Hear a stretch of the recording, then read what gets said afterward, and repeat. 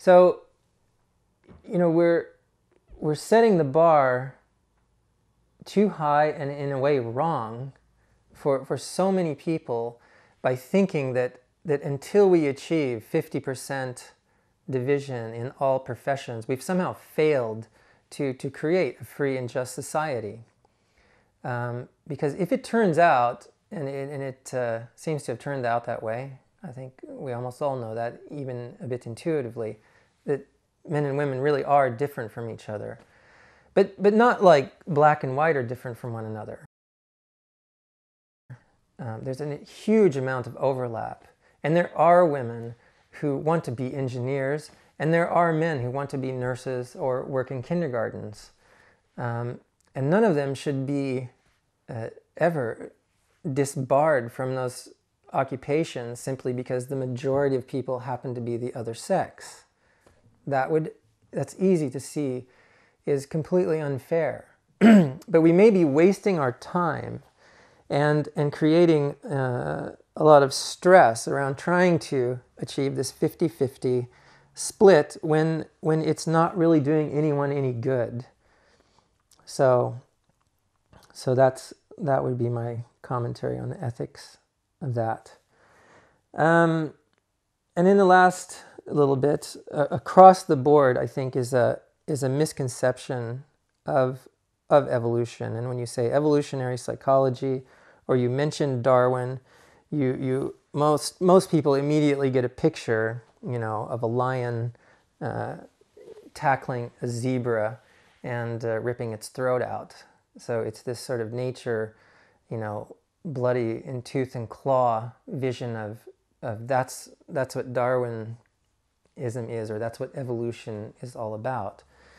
Now, survival uh, is, a, is the main driving force of evolution. But what's a little bit hard to, to grasp is that it's not just about who, who can dominate someone else in, in this sort of uh, violent way, but that, that uh, you know, our feelings of, of love, our, our close family ties, the way we involve ourselves with our friends, and, and on and on, on, on many levels in our psyche, on all levels really, are also based on uh, our evolution, uh, based on Darwin's theory and, uh, and natural selection. That, that, it, that natural selection can also uh, actually choose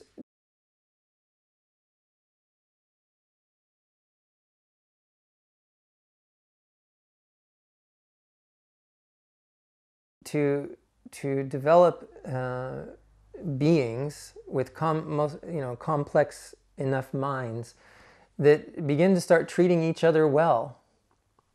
And uh, and and this is a whole nother field uh, which uh, I think has an awful lot to say about about how we might try to look more deeply into um, uh, society and and realize what are some of the underlying drives that most everyone has, this sort of universal human nature that lies underneath everything. And, and our culture, of course, um, are expressions that, that are mapped on to, to that groundwork. And we get a lot of variety in culture. So it's not that everyone will act exactly the same all the time, but to sort of know what, what is the uh, sort of the underlying constitution of human beings and why might we see some of the things we see in the world today.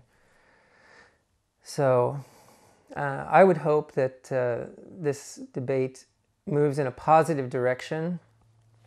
Um, I think that the, the sociologists that I've seen um, need need to sort of embrace the idea that it's okay to to have been wrong about some of the things they were saying, um, and that that by doing that, they actually do not lose face. They uh, they would gain an awful lot of respect, I think, by many people, cer- certainly me, to hear someone just stand up and say, "Wow, that was extremely interesting. That is very different from anything I've been ever thinking." But it does seem solidly based, and I need to look into this because this this looks important. And I think the the sociologists they they um, you know with the status of where they're sitting, they they have a moral obligation to to explore these things as deeply as possibly and openly as possibly. And I think that that they they really will find that there's nothing dangerous uh, coming in from science.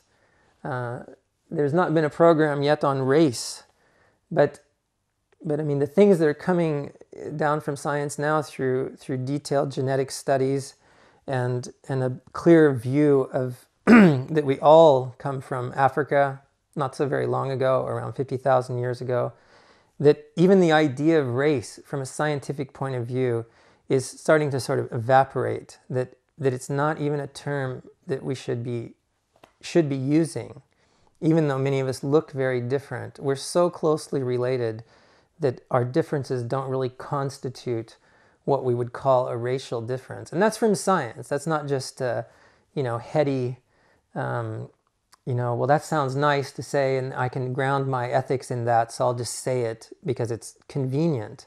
That, that actually the evidence is going that way. And to, for anyone to push back from that and say, no, no, no, no, no, I'm not going to, uh, I'm not even going to consider these biological aspects because I'm afraid it's too dangerous for, for how I feel about how we need to, uh, to continue to improve society, improve fairness, reduce violence. Um, and, and just understand what we're up against here. Uh, in, in an even broader perspective, I think that it has something to say about how we're going to move on and try to be good custodians, not just of ourselves, but, but even of our planet. Um, you know, whether we like it or not, our, our population now and the, and, and the biomass of our domesticated plants and animals absolutely dominates this planet now. And, and we can like it or not, but we are the custodians now. There, there's no one else that's going to do it. There's no one else who has, no other species that even has a chance to try to manage this. And I think it's optimistic to see that human, humanity has begun to expand um, their circle of interest, you know, moving away from just being concerned about just my family and perhaps a few close friends who are closely allied with me, to, to seeing a broader perspective and wanting to encompass all of humanity inside that circle of concerns. And eventually, uh, you know, to encompass also our environment and our world. And uh, I think trying to understand ourselves biologically and culturally and every other way we can um, is very important now. Uh, more important than it's ever been to, to try to understand what are we going to do next? How can we take care of ourselves? How can we take care of the environment we live in so that we can continue this amazing uh, cultural development that we've had? You know, uh, the world has actually become more peaceful over the last few hundred years even though there are still wars and there's still things that we we don't want, if if we look back on how things were, we have gotten better over time. And I think we can continue to get better as long as we can hold it together. And I think understanding our nature uh, as clearly as possible is the best way to try to do that. And to not do it could even be somewhat dangerous. And that's it.